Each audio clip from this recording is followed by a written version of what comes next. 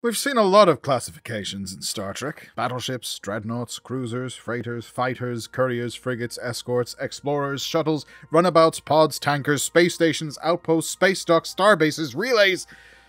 A lot of them. But one we haven't seen very much in Star Trek universe is carriers. And today we'll be talking about one of those.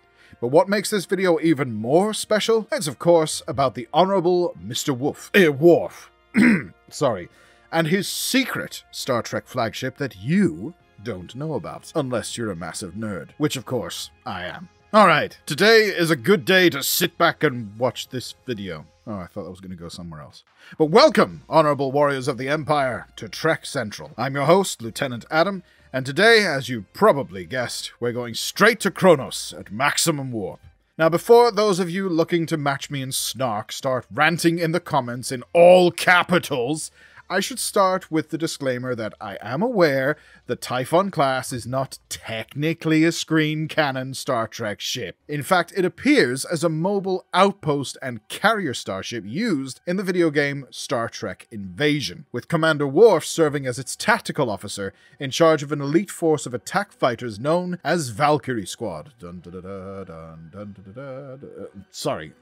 if you want to bring glory to your house and keep up to date on the, all the latest Star Trek news, lore, and more, then make sure to hit that subscribe button to never miss a video from the team here at the Empire uh, Trek Central. I really am getting too carried away with this Klingon stuff, aren't I? You can also follow us on social media for daily updates on the Star Trek universe. And as always, please let us know your thoughts in the comment section below, because if you're talking about Star Trek, we want to hear about it. All hands, listen up. This video is brought to you by Raid Shadow Legends. Journey into the world of Teleria as you play this immensely popular mobile game with over 600 champions to choose from. Use the links below to download Raid yourself to your mobile phone or PC. Okay, prepare yourself for the newest boss in Raid, as the biggest and craziest yet. The Hydra features multiple different heads, each one of a complete boss battle, unique and all on its own. Here's what you're gonna go up against. The head of Blight is all about poison. It poisons you, it leeches you, and it protects itself with a poison cloud. The head of Torment is terrifying, constantly applying true fear on your guys. The only way to stop it is by hiding your champions with Veil buffs, which isn't easy to get a hold of. The head of Mischief loves your buff and wants them all for itself, as Mischief would suggest. It targets the champion with the most buffs, then steals them, and spreads those solid buffs all over heads. It's a nightmare. The head of Wrath is a super angry damage dealer. It weakens and provokes your team. When you've hit it 15 times, it gets a new buff called Vengeance, tripling its attack power. The Head of Decay is about tearing you down and building up its allies. It makes your team's healing actually lower the HP, so healing isn't always an answer. There's also the Head of Suffering, and it's the Hydra's main tank head. It brings a horrible new debuff called Pain Link, which causes your champions to take some damage whenever you attack the Head of Suffering. You do not want to get left behind. January is a fantastic month to get involved in the game due to what's happening in Raid this month. To start off, Raid's releasing a bunch of awesome new champions, along with a brand new Faction Wars Crypt for one of my favourite factions, the Shadowkin. But certainly never been a better time to get started, and if you use our link in the description or scan my QR code on screen, you'll get a free starter pack worth almost $30 to kickstart your game. We're talking a free champion, Aina, 200k silver, 1 energy refill, 1 XP boost, and 1 ancient shard, so you can summon awesome champions as soon as you get in game. Play Raid Shadow Legends today, use the links below to download Raid yourself to mobile phone or PC. Alright, let's engage. Nailing down the technical specs and glorious history of a ship like the Typhon class is fraught with peril, as any beta canon starship is wont to be. What we do know is that the starship was active during the end of the 24th century, in the service of Starfleet of the United Federation of Planets. It was a new type of starship for Starfleet, active as both a mobile outpost and carrier starship, carrying a squadron of 28 Valkyrie-type starfighters. The only vessel of the Typhon class was, of course, the USS Typhon itself, and it had an NX or Naval Experiment Registry to denote that the vessel was a prototype, similar to that of the NX-01 Enterprise, the original USS Defiant, and most recently the USS Protostar, which I think we did a couple of videos on, didn't we? Anyway, carriers were not really a conventional ship within Starfleet, although small starfighters were seen in battles during the Dominion War and the battle near Zahir during the Control incident of 2257. A lot of the interior of the Typhon class was dedicated to storing the Valkyrie-type starfighters themselves. This storage was nestled inside the hull and featured a sophisticated transport system for moving fighters to and from the hangar bays, not unlike traditional sea-bound carriers you see in modern-day naval warfare. Much like the majority of Starfleet vessels, the Typhon was equipped with a full full scientific and medical equipment loadout. But these were really secondary to its enormous array of weaponry. Multiple turrets, which were armed with twin mounted quantum torpedo launchers, and dual Type 10 phasers were installed on the starship, meaning she was designed for battle. Much like another starship Worf commanded at some point. Some tough little ship or other. ah, what was it called again? The Defiant. I forget.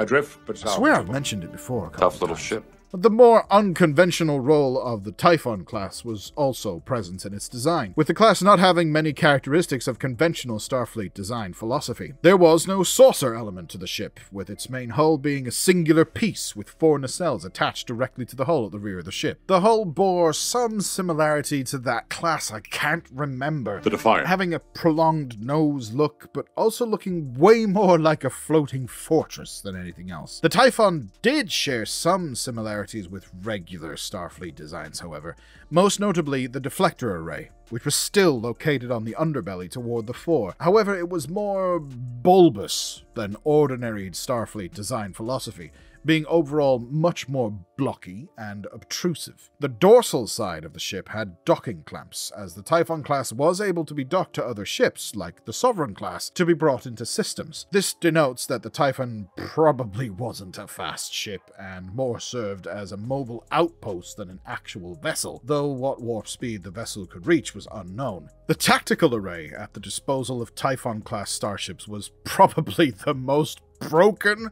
of any Starfleet vessel ever. The ship packed boomsticks and dynamite of starbase grade caliber on a mobile platform. We saw an abundance of pulse phaser turrets, quantum torpedo tubes, phaser arrays could also be spotted on the vessel's hull, and if that wasn't overpowered enough, the Typhon class had the ability to enter a mode known as Fortress Mode, which is where it would alter its hull configuration to be much more resilient to damage. While in Fortress Mode, any open hangar bays would be closed, so fighters could not be deployed whilst hunkered down in this position. However, when in Fortress Mode, the pilots could manually control the ship's turrets to defend against oncoming enemies. The Typhon also seemed to have an extensive holographic array, being able to create holographic environments to help train pilots of the Valkyrie class fighters. Given that it was evidently intended to serve as a mobile outpost, this is hardly surprising when you think about it. But we've touched on the Valkyrie fighters themselves a lot so far, but that raises a good point, all of its own. When talking about the technical specifications of the Typhon class, it is also prudent to note the specifications of the Valkyrie class starfighter,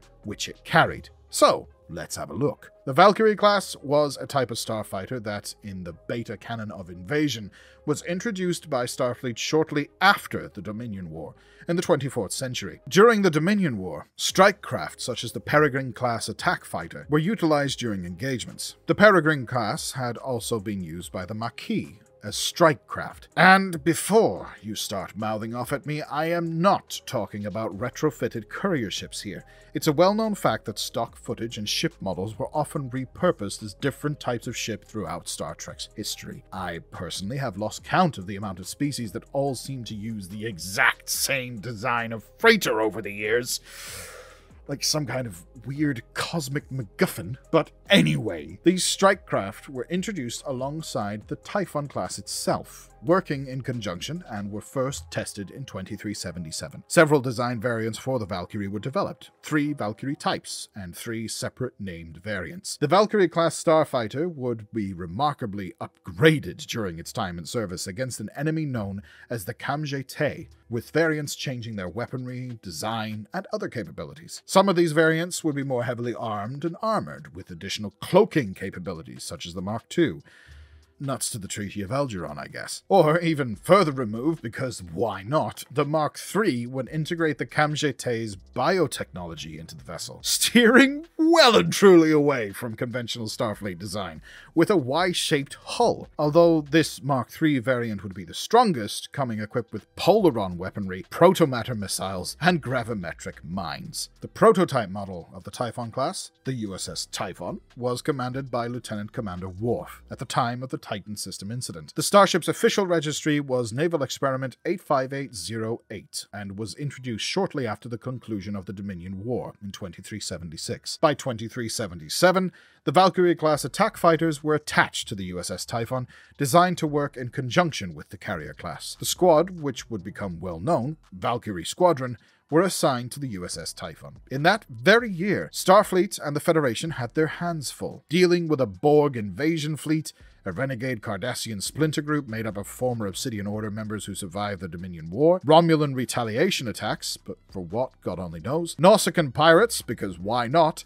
and deadly space dwelling parasite colonies. It was as if every variant of COVID 19 spawned in an alien fleet. Ridiculous. But the biggest threat would be the Kamje You know what? That's my third attempt to pronounce that, and I'm probably still not getting it right, so I'm just going to call them the Yeti from now on. A new species who are reactivated from cryosleep by a corrupted Starfleet ship. This alien species was discovered to be a descendant of the ancient Klingon blood enemies, the Hur'q. You know who the Hur'q are, they nicked off with Kahless' favorite can opener that one time. A thousand years prior, the Hur'q had almost destroyed the Klingon Empire when they invaded Kronos. Even though they were defeated by the Klingons, the Hur'q still stole their most precious relic, which was, of course was not a can opener but the sword of Kahless, and are despised by the Klingons to this day. The Yeti, sorry, Kamje were attempting to send the Vanguard complex, the superstructure which housed the Kam'Jahtae in cryosleep, to Earth through an artificial wormhole. Why? Well, to invade Earth, of course. It's a basic requirement for every villain in Star Trek. The Borg did it, the Breen did it, which means technically the Dominion did it. It's just what you do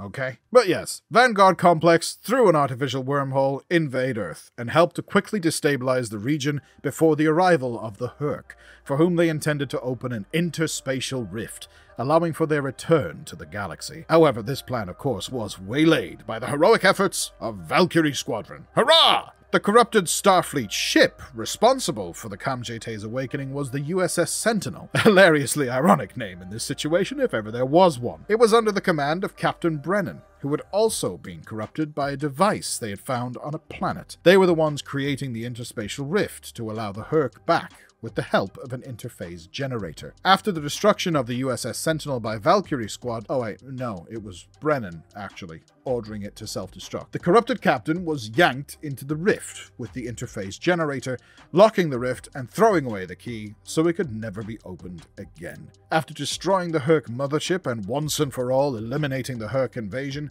we get footage of the USS Typhon doing a flyby over San Francisco, which again seems to be a tradition at this point, as Voyager does the exact same thing when it returns from its long voyage. And while that may be a wrap on our Star Trek ship breakdown for today, such as it is, I would be remiss in my role as a snarky Klingon fanboy if I didn't rant about how we still haven't seen Worf actually commanding a new ship in a new iteration of Star Trek. Yes, yes, yes, I remember what happened in Deep Space Nine when he chose to rescue Dax instead of meet the Cardassian double agent. But come on! It's Jadzia Dax! Wouldn't we all have done the same thing? I mean, come on, Starfleet. Let bygones be bygones, I say. Give us more Worf! I take anything at this point.